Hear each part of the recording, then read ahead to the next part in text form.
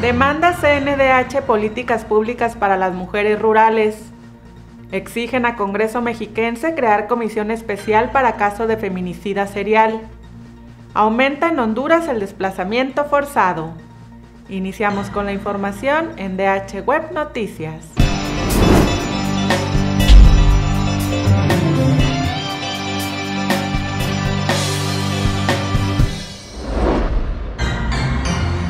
Soy Tania Serrano. Les presento lo más relevante en materia de derecho humanista.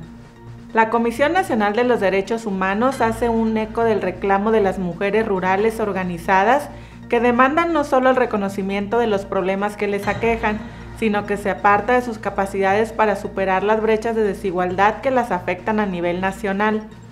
Por ello, con ocasión del Día Internacional de las Mujeres Rurales, el organismo nacional exhorta a las tres órdenes de gobierno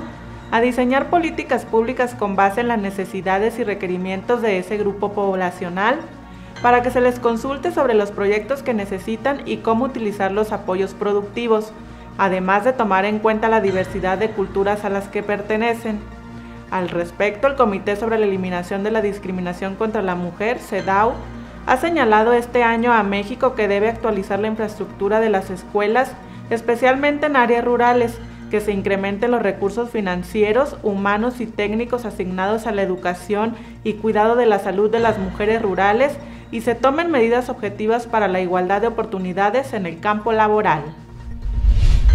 El Observatorio Ciudadano Nacional del Feminicidio llamó al Congreso del Estado de México a crear una comisión especial para la investigación del caso del presunto asesino serial Juan Carlos N., detenido el pasado 4 de octubre,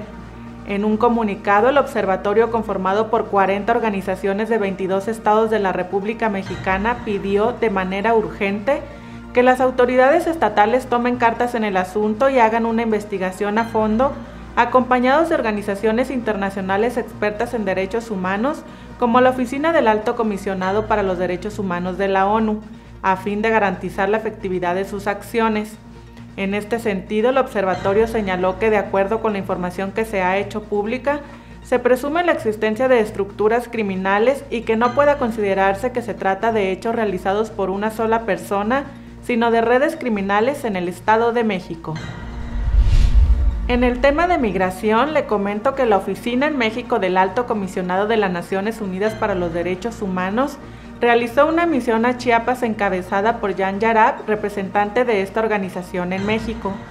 La misión tuvo como objetivo documentar los principales desafíos en materia de derechos humanos que el Estado de Chiapas enfrenta, como son la situación de migrantes y refugiados, desplazamiento interno forzado, derechos de las mujeres, salud sexual y reproductiva, derechos de los pueblos indígenas, la situación de la comunidad LGBTTI y la falta de protección ante la situación de inseguridad en la que realizan su labor las y los defensores de derechos humanos. El equipo de la ONU-DH visitó las estancias migratorias de Comitán y Ciudad Cuauhtémoc, así como la estación migratoria siglo XXI de Tapachula.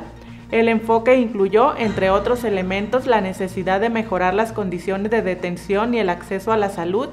así como el goce del derecho de los migrantes detenidos a comunicarse con sus familiares, de asegurar la no detención de la niñez migrante y de la protección internacional, garantías de no devolución y a no ser expuestos ante las autoridades consulares, en especial de migrantes nicaragüenses que han huido de graves violaciones de derechos en su país. De enero a agosto de 2018, alrededor de 625 personas fueron obligadas a salir de sus hogares mientras que otras 764 estarían en riesgo de hacerlo, según informó el Comisionado Nacional de los Derechos Humanos de Honduras, Roberto Herrera Cáceres, quien indicó que en 307 de los casos, que representan el 55%, las personas denunciaron ser víctimas de amenazas de muerte.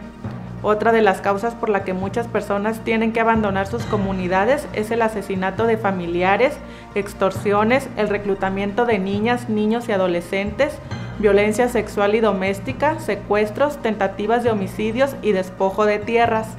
Explicó que entre los agresores o sectores denunciados figuran miembros de maras o pandillas, el crimen organizado, delincuencia común, narcotráfico, bandas criminales e incluso miembros de la policía. El ombudsperson hondureño declaró que el desplazamiento forzado interno se constituye en una violación a los derechos humanos, ya que el Estado no toma las previsiones necesarias para prevenirlo y evitarlo.